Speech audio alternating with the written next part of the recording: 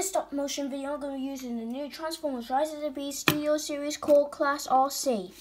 In this stop motion video, it's going to be called Arcee vs. Airazor Transformers Rise of the Beast Episode 3, sorry, May 2, right up here.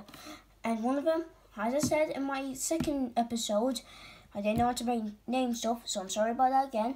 I'm not going to mention that in episode 4, but still, I hope you enjoyed the video.